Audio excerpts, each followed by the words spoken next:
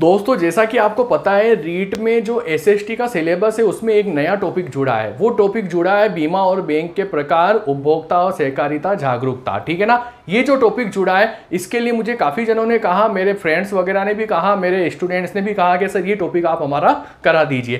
तो इस टॉपिक के मैं तीन से चार वीडियो बनाने वाला हूँ। डेली आपको आज से ही मिलेंगे ये। तीन से चार वीडियो, उन तीन से चार वीडियो में ये टॉपिक आपका कंप्लीट होगा और उसके लिए आपको कुछ भी नहीं देखना पड़ेगा। आप ये देख लेंगे, चारों वीडियो या तीन वीडियो जो भी होंगे तो आपका जो ये टॉपिक है, ये पूरा कंप्लीट हो जाएगा, ठीक है ना?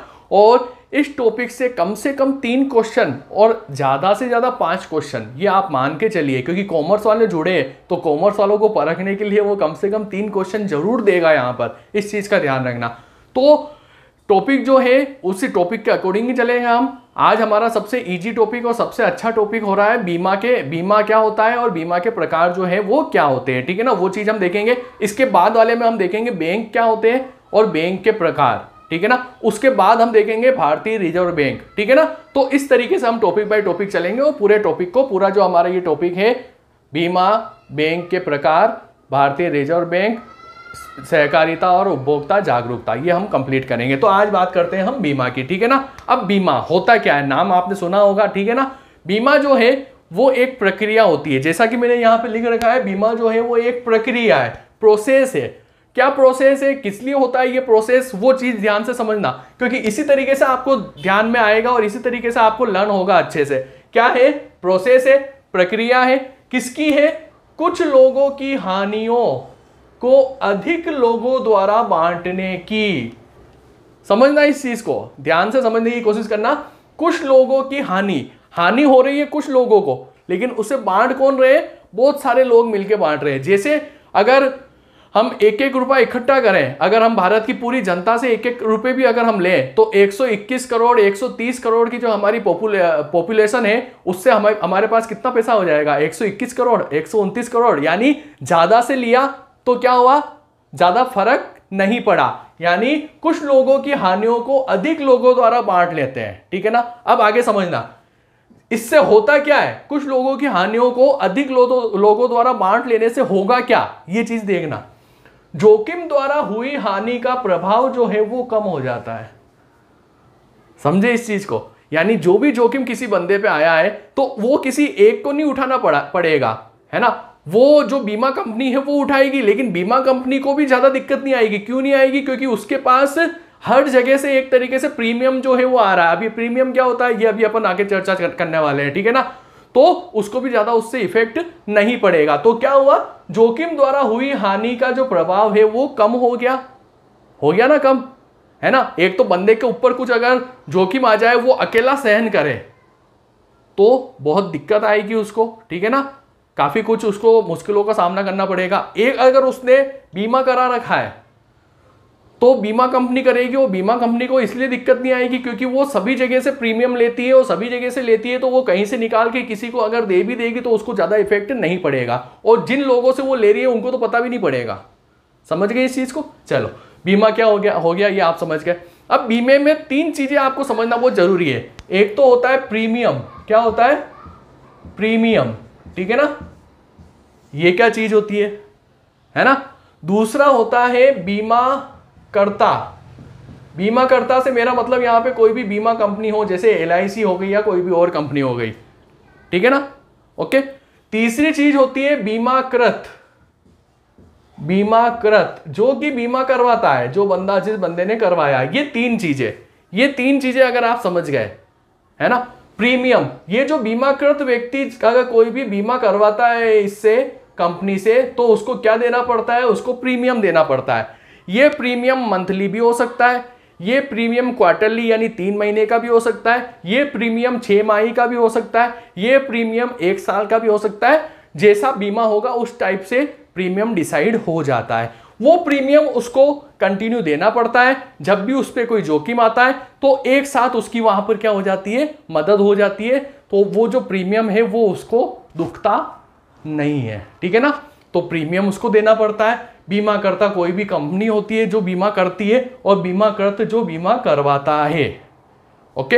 ये तो हो गए, बीमा होता क्या है? बीमा का अर्थ मेरे ख्याल से आपको अच्छे से समझ में आ गया होगा। ठीक है ना?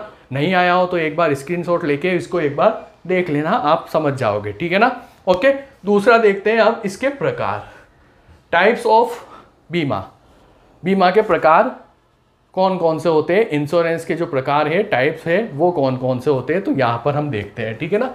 सबसे पहली चीज़ आती है जीवन बीमा, जिसको हम बोलते हैं लाइफ इंश्योरेंस क्या बोलते हैं? लाइफ इंश्योरेंस ठीक है ना? जीवन बीमा।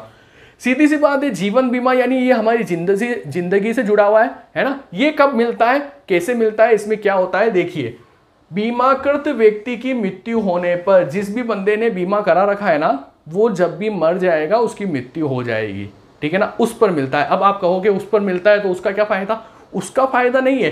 फ़ायदा किसका है? इसके द्वारा। किसके द्वारा? जिसने बीमा करवाया है। इसके द्वारा नामित व्यक्ति को निश्चित राशि का भुगतान हो जाता है। समझ गए? है ना? फ़ायदा किसको हुआ? नामित व्यक्ति को। तो बंदा तो यही चाहेगा ना यार कि उसकी मृत्यु हो जाए तो उसके बाद किसका फ़ायदा हो? उसकी फैमिली के का फ़ायदा हो? है ना? उसको बेनिफिट मिले। फैमिली में उसकी वाइफ हो सकती है, उसके बच्चे हो सकते हैं, उसके भाई हो सकते हैं, उसकी बहन हो सकती है, उसके माँ बाप हो सकते हैं, किसी को भी वो नामित कर सकता है नॉमिनी कर सकता है, ठीक है ना? तो उस बंदे को क्या होगा? ये जब मर जाएगा तो उस बंदे को क्या होगा? एक निश्चित राशि का, उसने कितने का बीमा करा रखा है, उस हिसाब से एक निश्चित राशि का जो भुगतान है वो हो जाएगा। ठीक है ना? इसमें भी उसको एक निश्चित प्रीमियम देना पड़ता है भरना पड़ता है।